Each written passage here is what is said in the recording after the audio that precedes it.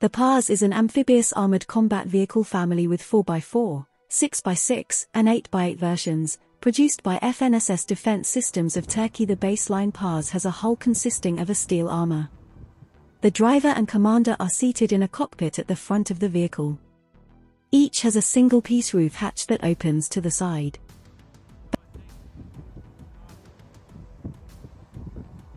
Both have access to flat panel displays, on which all relevant information is shown.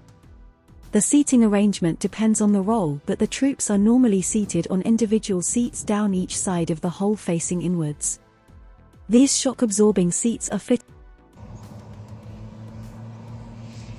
with 5-point seat belts as standard. A large ramp fitted at the rear section will be used for entry and exit of troops. FNSS PARS 8x8 rear view. The modular design of the PARS will incorporate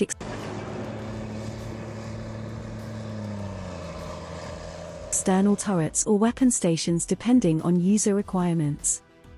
It could be a one or two man turret or a remotely operated weapon station. To allow for PARS to be rapidly reconfigured for different operational roles, all members of the PARS family have removable roofing so that they can be quickly converted for a wide range of specialist roles.